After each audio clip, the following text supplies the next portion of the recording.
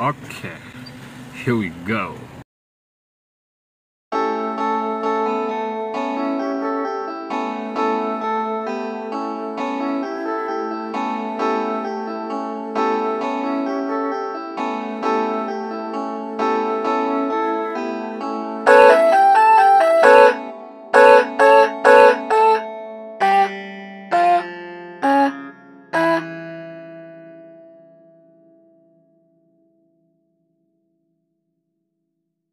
Thanks for watching. Peace.